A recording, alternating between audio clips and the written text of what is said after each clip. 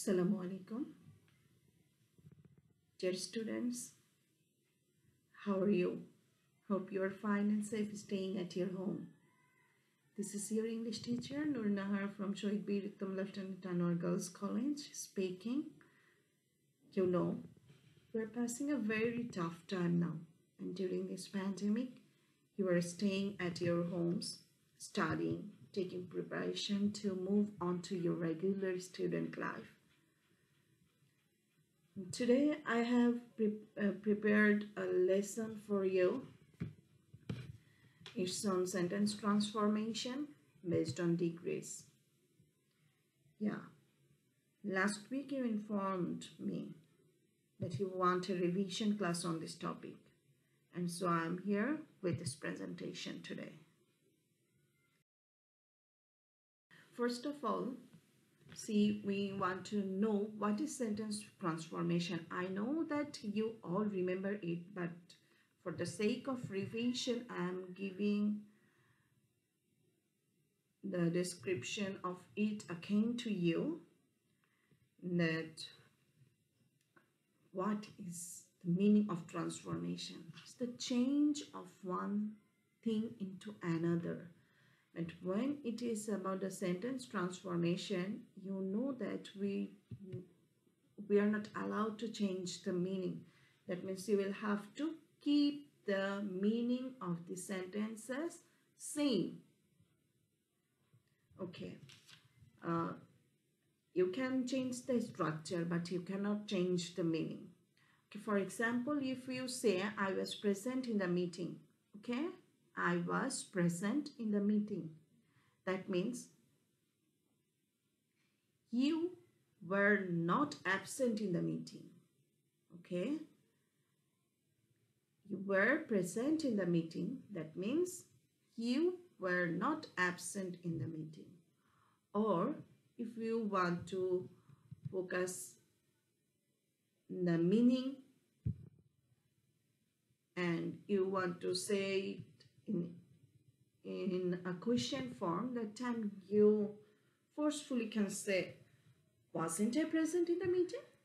That means obviously you were present in that meeting. Or sometimes we explained how beautiful the scenery is. Okay, why do you say this? Because the scenery is very beautiful that's why so see in between these sentences i haven't changed the meaning anywhere. So that means in case of sentence transformation we are not changing the meaning. We are keeping the meaning same but changing the structure of the sentences Besides, why do we do this? What's the need? Actually, such changes make the sentences more attractive.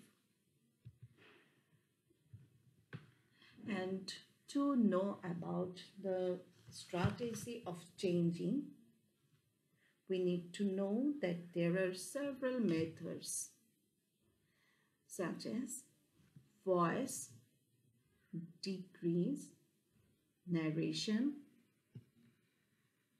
Even we need to change the sentences according to their meaning.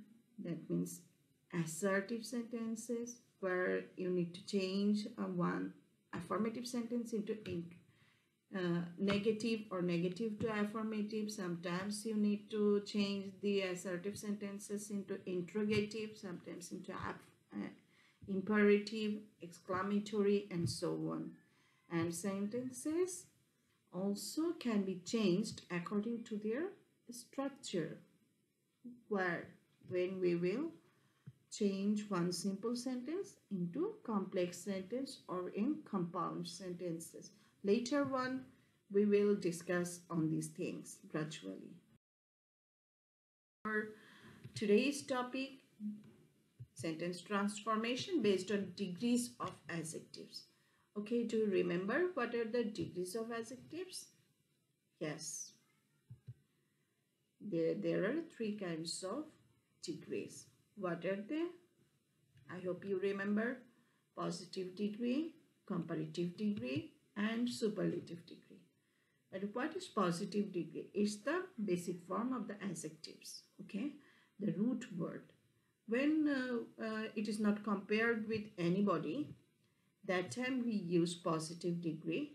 Like uh, he's a tall person, uh, he's a tall man, or the it is a or it is a famous school.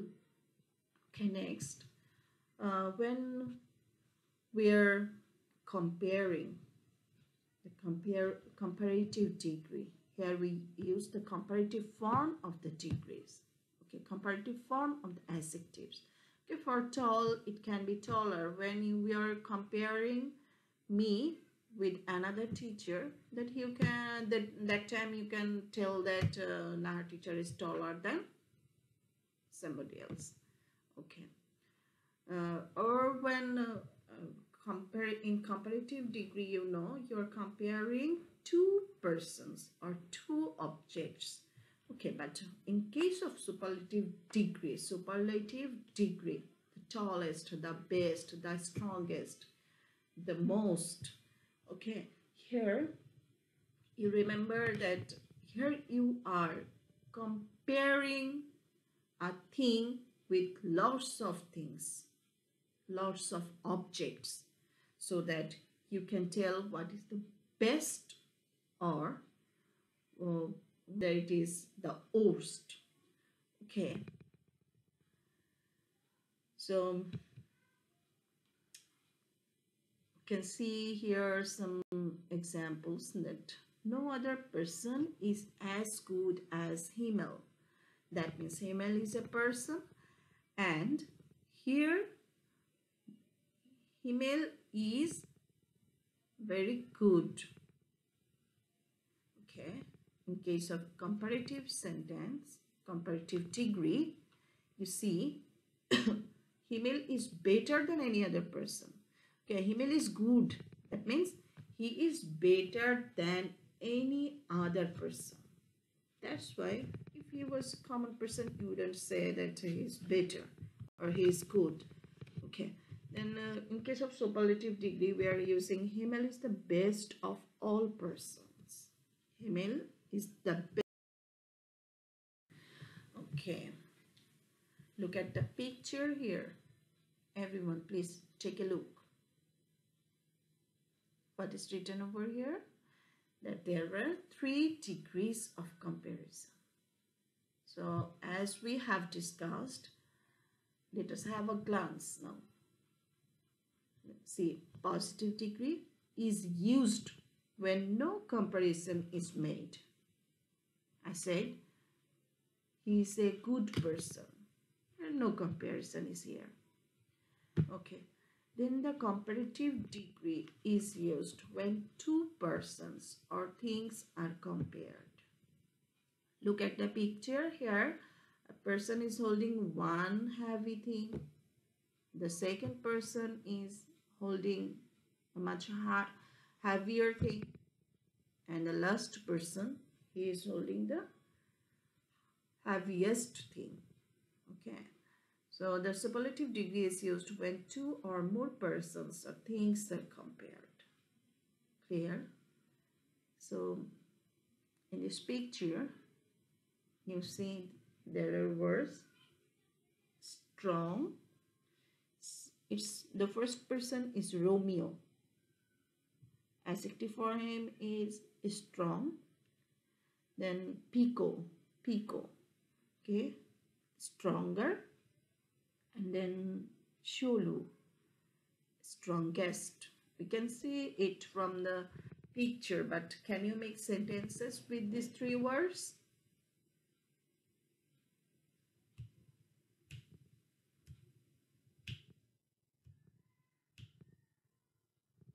Okay, say strong. Romeo. You're right. Romeo is a strong boy.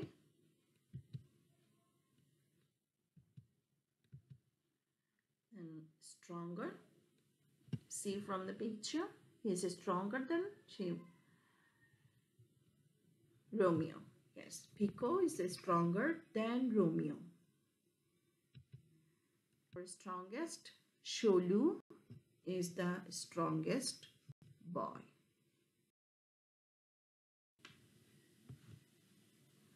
Okay, now let us know about the usage. Okay, where are we using positive degrees? See, when we are saying sentences like this, he is a good man. That means after a. Or when we are using uh, sentences like this, no other man is as good as he. That means in between these two as, we are using a positive degree, a positive form of the adjective. Okay. Um, in case of comparative degree, we're saying he is better than me or he is better than any other person or it is better than most other things.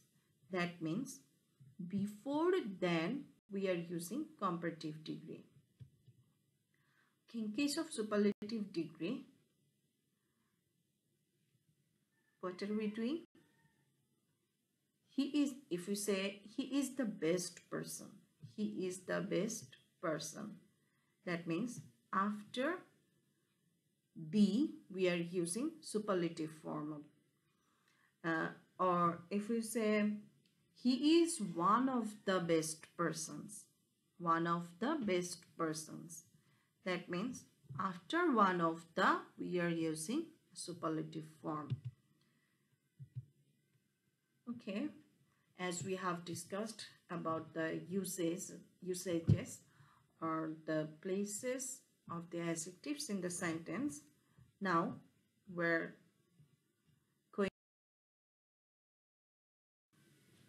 how do we change one type of sentence into another okay when we're discussing about Mr. Abraham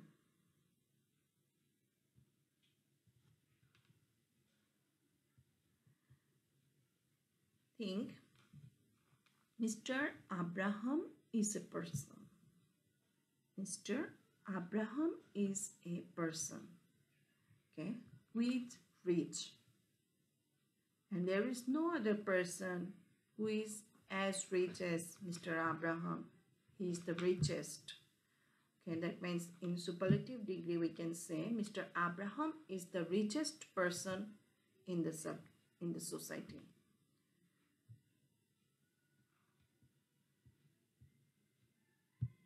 So, Mr. Abraham is obviously richer than any other person of the society.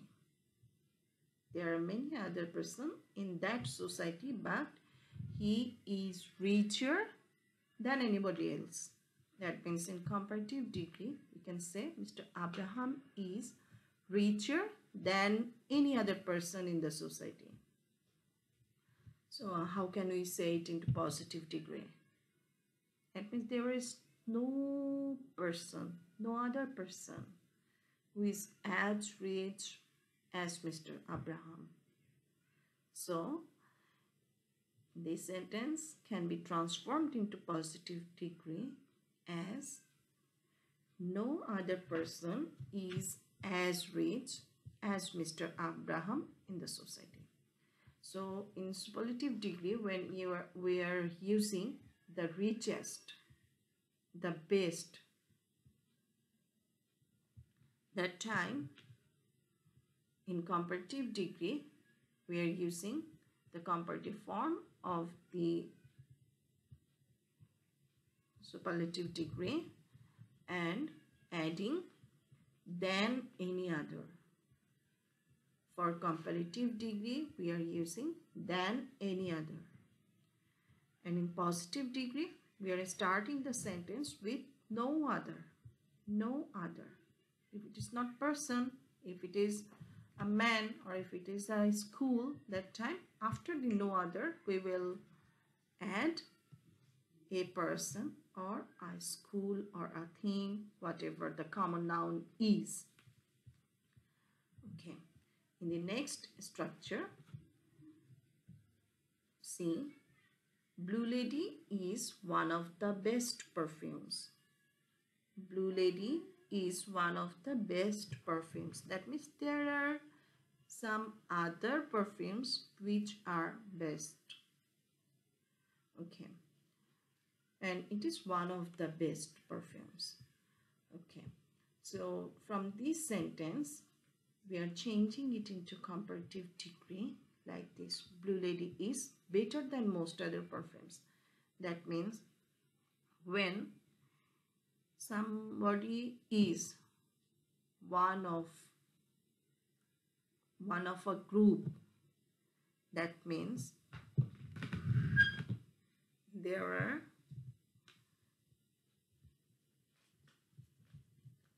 uh, there are some other things or some, some other persons of that quality. So when we are talking about the perfume brand Blue Lady, it means it, it is better than most other perfumes. It's better than most other perfumes. Okay. The, when the superlative degree is using one of the that time we are starting the positive degree with very few very few. Okay that means uh, the word few includes some other. So very few here few is a plural noun plural form. So it will take plural form of the noun. Very few perfumes are as good as blue lady very few perfumes are as good as Blue Lady.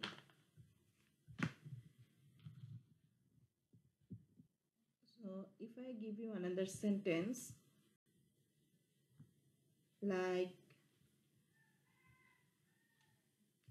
Kazi Nazrul Islam is one of the most famous poems of Bangladesh.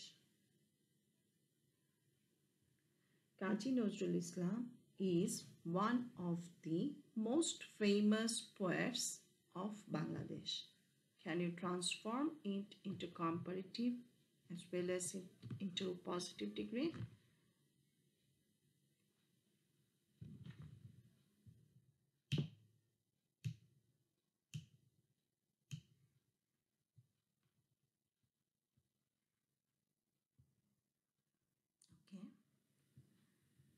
Okay, in the above two structures, what we saw that we compared something or somebody with a lots of things of that quality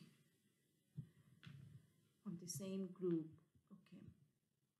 Now we're going to discuss another structure where we will compare between two things of two different quality, two different characteristic. I can compare uh, an animal with a thing or in between two proper nouns also. For example, SAGC is more renowned than Adorsha School. SAGC is more renowned than Adorsha School. That means we are comparing SAGC with Adarsh school. Here, SAGC is not Adarsh school. In the above sentences, we compared Mr. Abraham with any other person. That means he was a person. He was a person of, of that group. But SAGC is compared here with Adarsh school. But here you look that SAGC is not a Adarsh school. Adarsh school is a name of another school. So two different proper noun. Okay. So we can say Adarsh school is not as renowned as SAGC. When we are saying SAGC is more renowned, that means Adarsh school is less renowned than us. So we can say it like this. Adarsh school no, is not as renowned as SAGC. Same here. I cannot speak faster than you. I cannot speak faster than you. That means you speak faster than me. You speak faster than me. Or I cannot speak faster than you. Means you also speak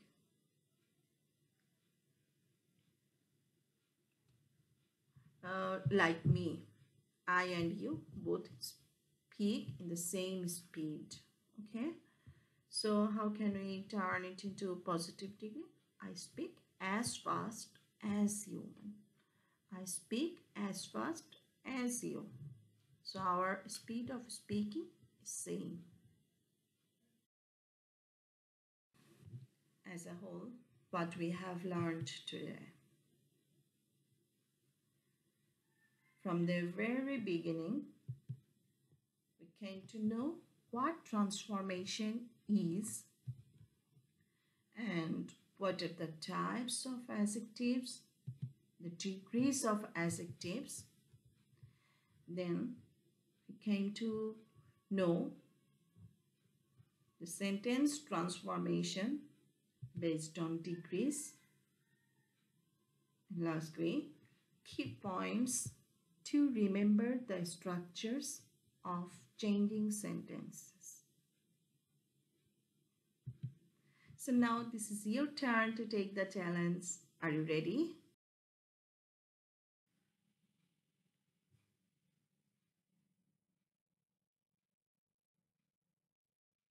Are you ready? Change the following sentences as directed in the brackets. Number one, SAGC is most famous than any other school. SAGC is more famous than any other school. Number two, they walked faster than a camel. They walked faster than a camel. Number three, this shirt is the most expensive shirt in this shop. This shirt is the most expensive shirt in this shop. Number four, no other man is as handsome as my brother. No other man is as handsome as my brother. Number five, birds cannot fly as fast as a plane. Birds cannot fly as fast as a plane. Number six, Anita is one of the bravest girls in the locality. Anita is one of the bravest girls in the locality.